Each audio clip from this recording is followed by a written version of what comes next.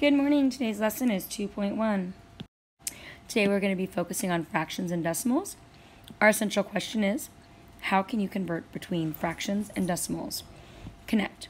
You can use place value to write a decimal as a fraction or a mixed number. So looking at our place value, we have our ones place, we have our decimal. After our decimals are tenths, hundredths, and thousandths.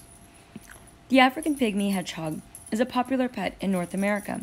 The average pygmy hedgehog weighs between 0.5 or 5 tenths of a pound and 1.25 hundredths. How can these weights be written as fractions or mixed numbers? So first, how do you know if a fraction is in its simplest form?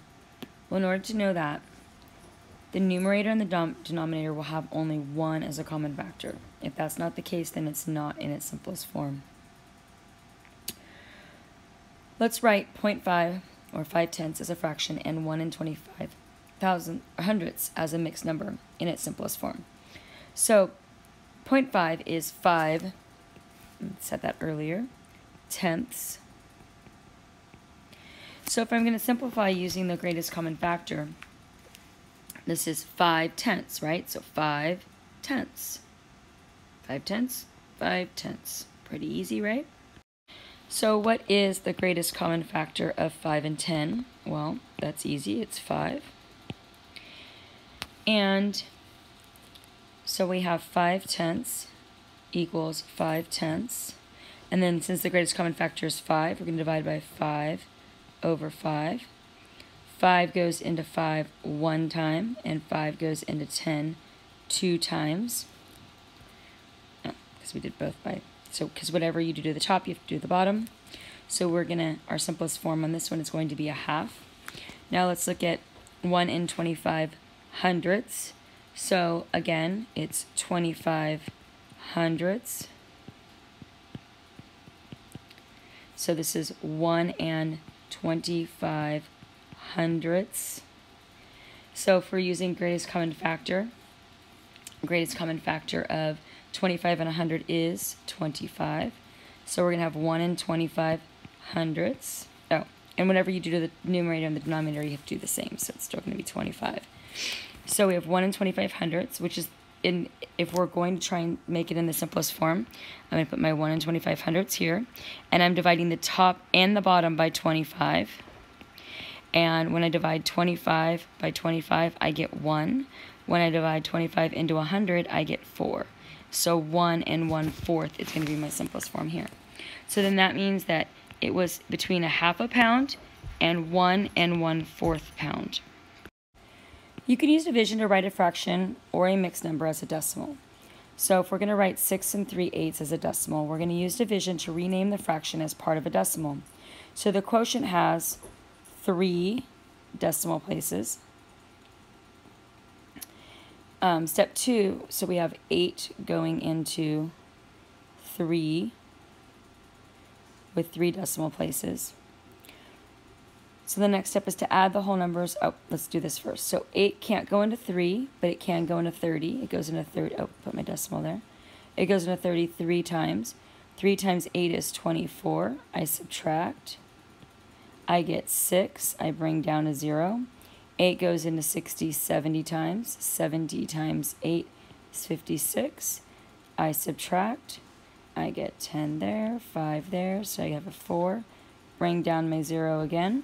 Now I have 8 going into 40, which goes in 5 times, and that goes in equally.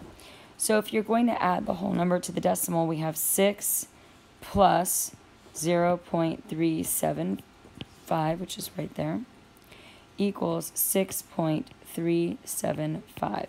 So 6 and 3 eighths is going to be 6.375.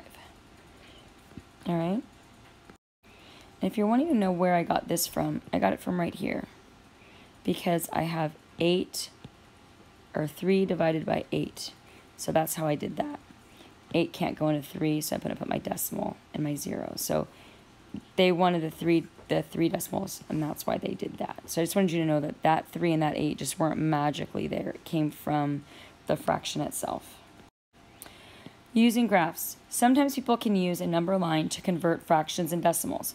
Can you use this number line to write the decimal for 3 and 3 fifths? Explain.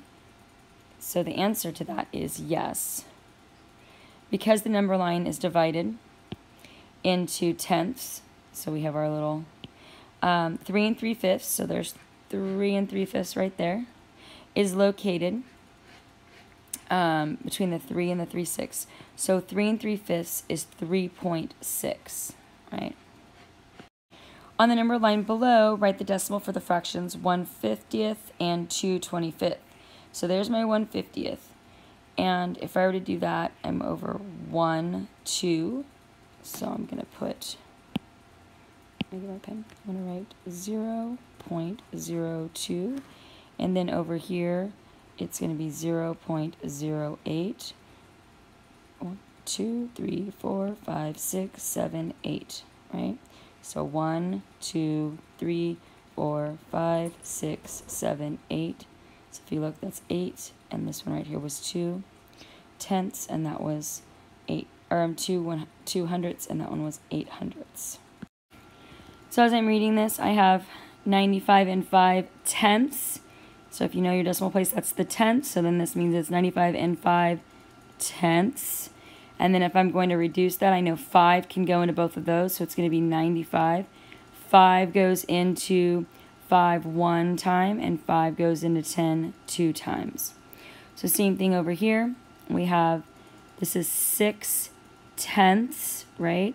So now I have to look to see what can go into both of those. Well, I know that 2 can go into 6. So if I divide this by 2 and I divide this by 2, then I get 6 goes into 2 3 times.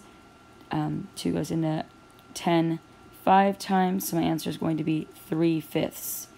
Let's do, um, let's do another one. Let's see. Actually, now we're going to do the opposite. So let's do these. These are the opposite. So now I'm saying 7 divided by 8, right? 7, and the, this line says divided by 8. So 7 divided by 8. So 8 can't go into 7. I put my decimal here. It's going to go into 70. 8 goes into 78 times because 8 times 8 is 64. When I subtract, I get 6. Bring down, or add a 0 and bring it down. So now 8 goes into 67 times. 8 times 7 is 56.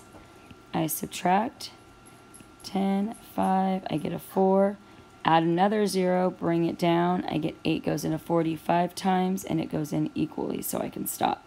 So if I'm going to write 7th eighths as a decimal, it's going to be 0.875 or 875 thousandths.